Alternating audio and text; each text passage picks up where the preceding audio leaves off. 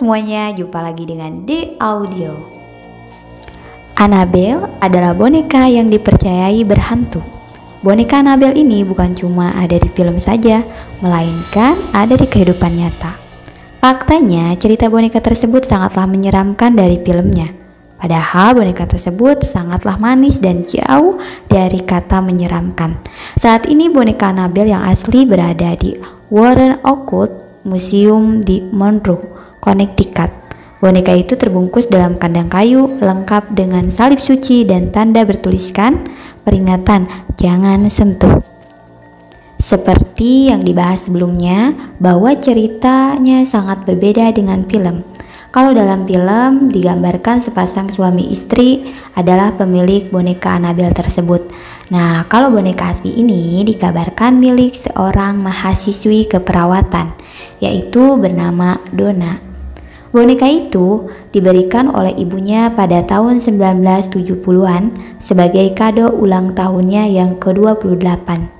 Dibeli di toko barang bekas Ragedian.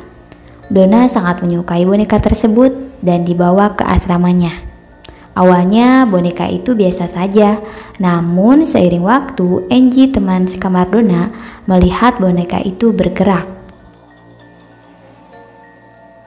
Hal tersebut, mereka mengklaim bahwa boneka tersebut mulai pindah ke lokasi yang berbeda.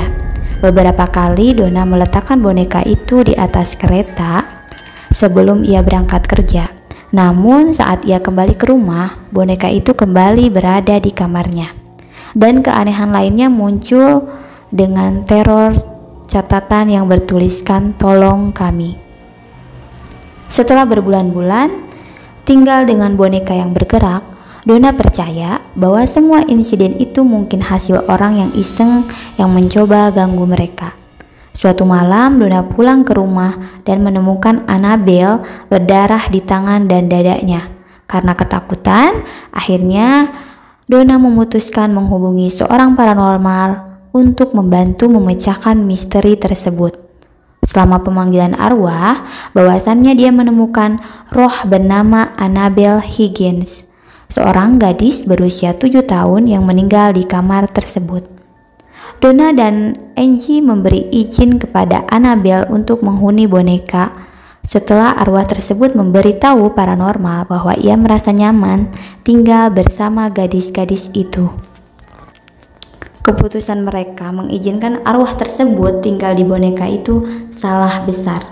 Teman Donna yang bernama Lau menyatakan bahwa Annabelle sering mengganggu dan menyerangnya itu terjadi setelah Lau mengungkapkan ketidaksukaannya pada boneka tersebut.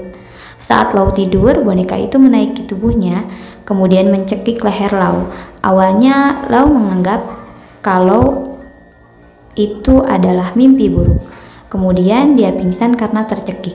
Keesokan harinya, Lau memasuki kamar Donna hanya untuk mendengar suara-suara aneh. Namun ternyata di kamar tersebut tidak ada orang. Dia merasakan kepanasan dan Low mendapati cakaran-cakaran. Cedera Low menyebabkan Donna pada akhirnya percaya pada sifat jahat boneka itu dan menghubungi pendeta Ed dan, Laur dan Laroin Warren.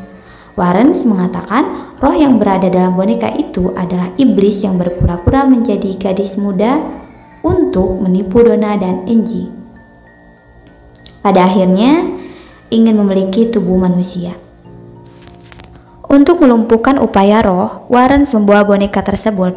Warren mengklaim bahwa boneka itu terus menunjukkan perilaku menyeramkan saat dalam perawatan mereka. Warren mengatakan roh itu juga telah menyiksa beberapa orang. Diceritakan ada seorang pendeta yang mengunjungi museum tersebut. Kemudian dia mengolok-olok boneka Annabelle. Dan pada akhirnya dalam perjalanan pulang, si pendeta tersebut mengalami kecelakaan parah. Nah itulah dia guys video kita hari ini. Sampai jumpa di video selanjutnya.